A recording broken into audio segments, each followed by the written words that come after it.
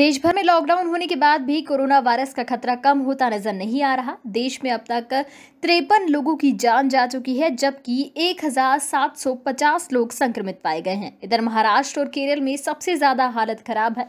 देश में corona virus से महाराष्ट्र में 325, केरल में 241, तमिलनाडु में 124, दिल्ली में 123, यूपी में 104, कर्नाटक में 101, राजस्थान में 93, तेलंगाना में बानवे मध्य प्रदेश में छियासी गुजरात में चौहत्तर जम्मू कश्मीर में पचपन आंध्र प्रदेश में चवालीस हरियाणा में तिरयालीस पंजाब में इकतालीस पश्चिम बंगाल में सत्ताईस बिहार में इक्कीस चंडीगढ़ में पंद्रह लद्दाख में तेरह, अंडमान निकोबार में दस, छत्तीसगढ़ में नौ, उत्तराखंड में सात, गोवा में पाँच, हिमाचल में तीन, ओडिशा में चार, मणिपुर में एक, मिजोरम में एक, पौंडीचेरी और झारखंड में एक एक और असम में भी एक मरीज़ पाया गया है।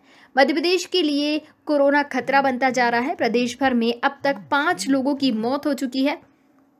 जबकि मंगलवार को सैंतीस नए मामले आने के बाद संक्रमितों की संख्या छियासी पर पहुँच गई है। इसी के साथ इंदौर में मरीजों की संख्या तिरसठ हो गई है। फ़िलहाल इंदौर की हालत नाजुक बनी हुई है। संक्रमितों में इंदौर तिरसठ, उज्जैन पाँच, जबलपुर आठ, भोपाल तीन, ग्वालियर दो, शिवपुरी में दो मरीज़ अस्पताल में भर्ती है। दस स्वास्थ्य विभाग दस मरीजों के ठीक होने का दावा कर रहा है। बताया जा रहा है कि भोपाल में स्थिति नियंत्रण में है और शहर को चार भागों में बांटा गया है।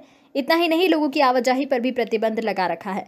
राज्यों की सीमाएँ सील करने के निर्देश के बाद गुजरात, राजस्थान, महाराष्ट्र की सीमा पर बीस हज़ार से अधिक लोगों को रोक दिया गया है। करीब दस जिलों की सीमाओं पर डॉक्टर, नर्सों और पुलिस की टीम ने इनकी जाँच की, जो संदिग्ध मिले उन्हें बॉर्डर पर ही बनाए गए क्वारंटाइन सेंटर में चौदह दिन के लिए रख दिया गया। Subscribe our channel and press the bell icon for more updates.